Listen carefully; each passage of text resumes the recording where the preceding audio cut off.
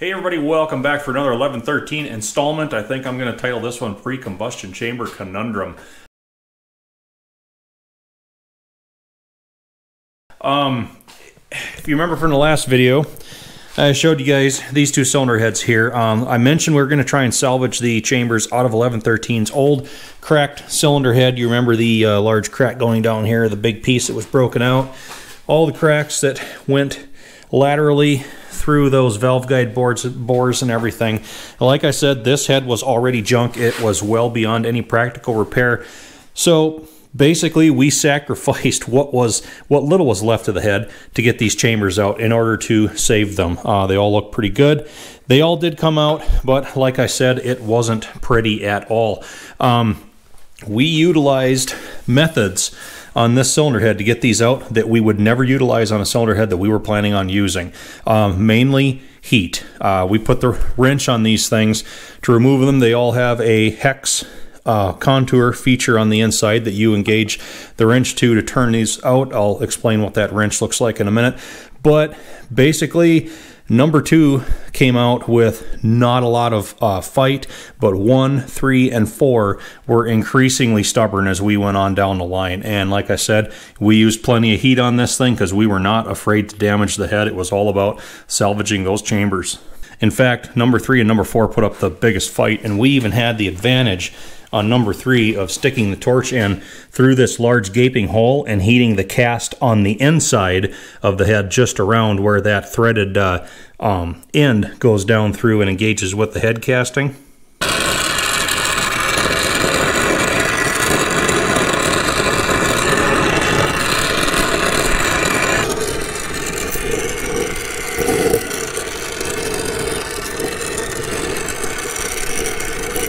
And still, it was a fight every step of the way.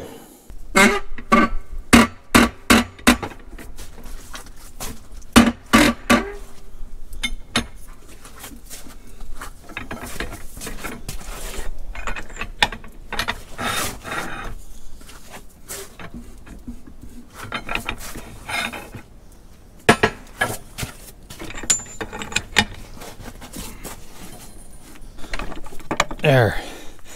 That's three out. Still got one left. I've put like a day into this thing. I've only got three of these out of here. And like I said, number four was actually the worst one.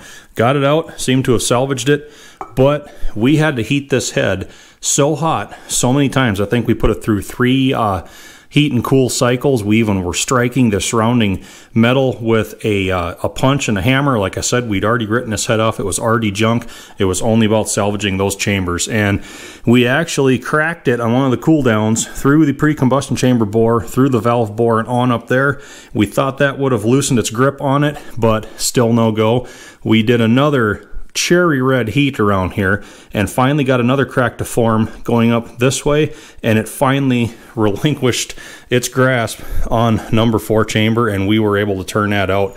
But that's kind of indicative of my experience with these pre-combustion chambers. Either they come out without a fight or it is just it's hell to pay to get these out.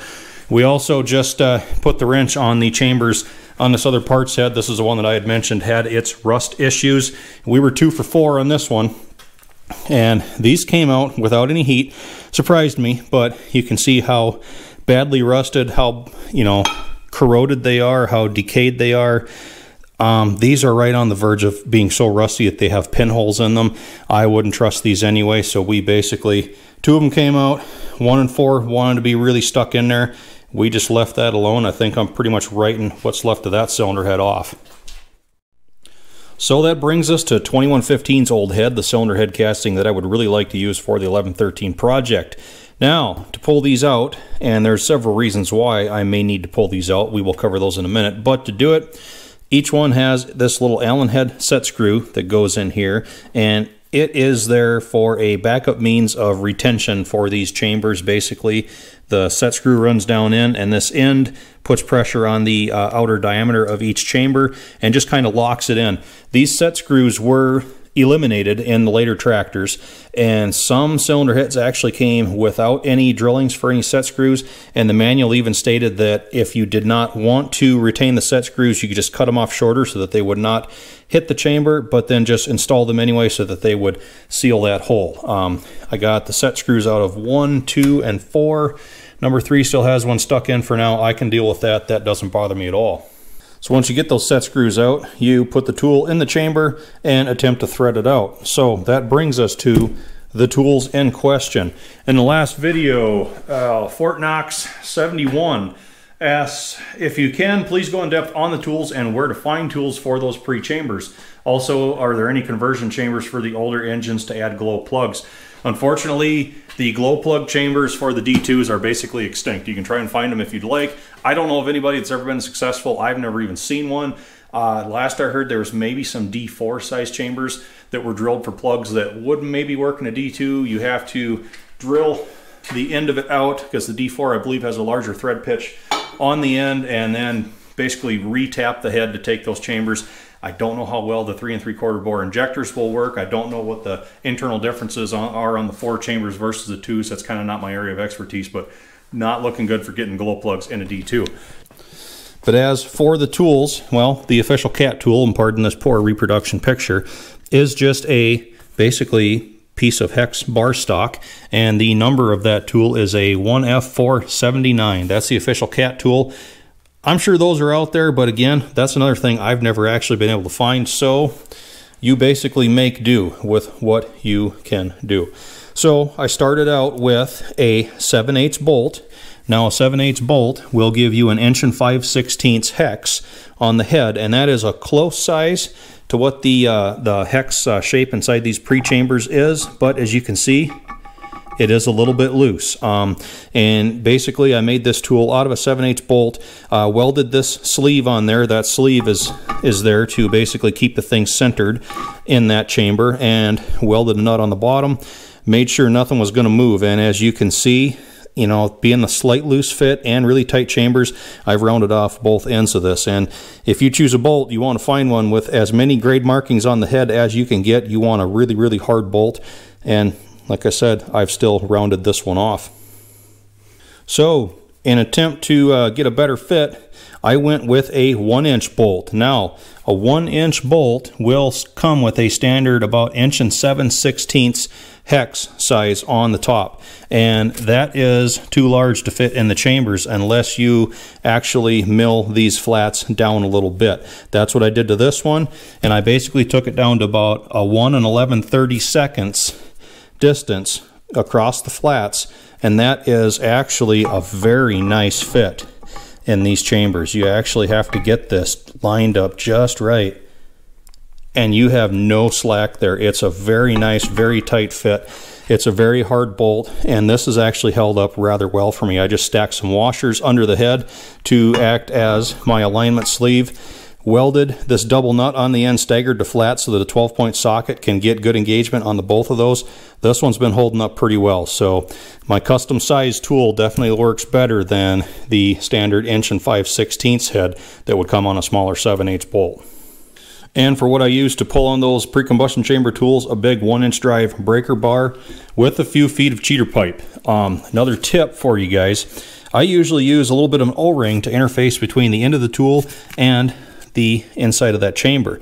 I'll find an O-ring that fits down just below that hex contour and actually sets on top of that uh, tapered injector seat that's down towards the bottom because the leading edge of this tool can get down past that hex and actually scar that tapered injector seat and cause you all kinds of grief. So an O-ring drop down in there is a perfect little blocker between the leading edge of that tool and that injector seat. It's going to save you all kinds of grief in the long run trying to remove any burrs that may uh, end up on those things for when you're pulling on this for all you're worth. So now that we've got that bookkeeping out of the way and you guys are pretty well up to speed with what my experience has been when trying to remove these chambers and some of the difficulties that can be encountered, let's talk about some of the reasons why I think I should probably get these out of 2115's cylinder head.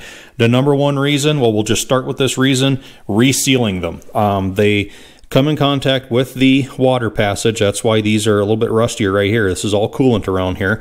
Um, they seal on the combustion end with a heavy copper washer, and they seal on this top end with a regular O-ring.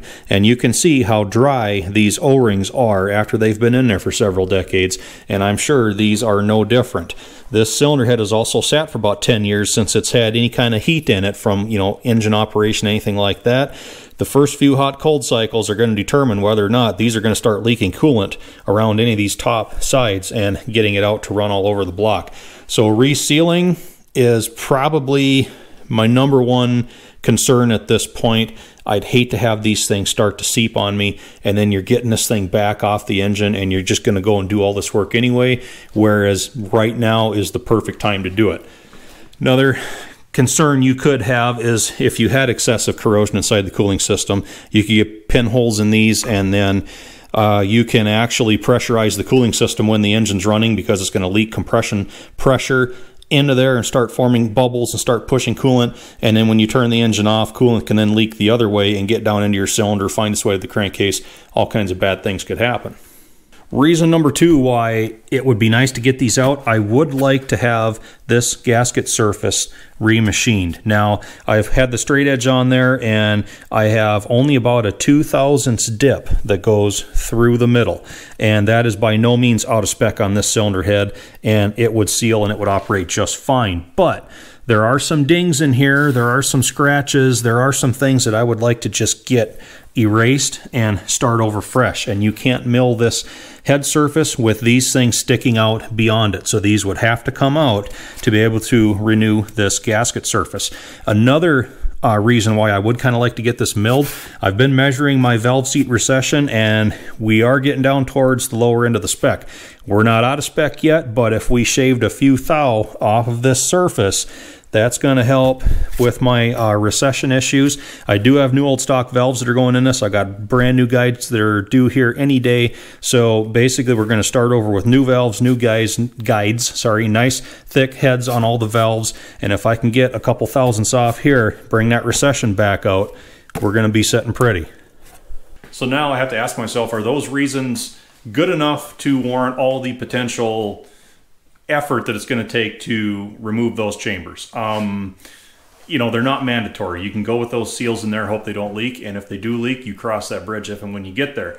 Uh, do you need to shave this head? Probably not. Um, valves, valve face recession is still technically within spec. We're not going to be running excessively uh, shallow on those, and that head gasket's going to seal just fine. But if we just go with it the way it is, it's not going to be the best job that I could possibly do. But here's the rub. If I put the wrench on these and they don't want to move at all, like I said, we're not using heat on this head. We're not banging this head. We're not hammering on it. So what you'd have to do then in order to salvage the head would be sacrifice the chambers. Now these chambers in here, for all that I know, are still good. I ran this, it never gave me a problem. I've never had excessive corrosion in these uh, water jackets. So if they didn't want to come out to save the head, I'd be drilling all four of these ends out or however many would stick in. Maybe it'd only be one, maybe be two, three, I don't know. But basically we drill the threaded end out enough to crack that body off, get the bulk of it out, and then peel the remaining threads out of that uh, cylinder head, clean everything up, and you'd be good to go. It's entirely doable. And we do have possible replacements sitting here that come out of 1113. We wouldn't be up a creek without a paddle, but I hate having to ruin otherwise good parts that are getting as hard to find as good pre-combustion chambers for a D2 are. These things are getting harder and harder to find every day. You can't buy them new. You're really lucky if you find any new old stock. You're pretty much down to what I did, salvaging good used wherever you can find them. So it's, it's just, it's a toss up. You know, I hate, I hate destroying otherwise good parts but, you know, to get the best possible job, I should try and take that apart. This is where you guys come in. Honestly, you know, I'm not trying to drama this up. Give me your opinion. If you're in my shoes, what would you do? Because you've seen how stuck those can be. Now, I might put the wrench on 2115's old head, and they might just turn out, and all is well and good, and there was no cause to worry, you know, the whole time. Two, two of them might stick, three of them might stick. You know, hey, if, if just one of them stuck, I'd have no problem drilling that out. You're only replacing one. You know, you don't know until you try, but once you get into it, you you kind of can't. There's no going back. Um, even if you get one to move a little bit and then it wants to stick, you're committed at this point because I'll guarantee that rubber O-ring at the top is gonna leak if you've disturbed it at all. So, what would you guys do?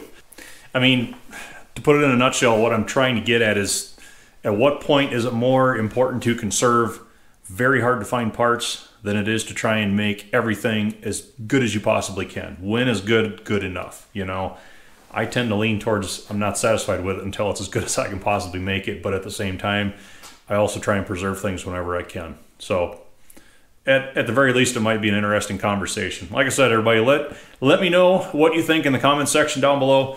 Thank you for listening to my rant. I await your responses. Thanks for watching, everybody.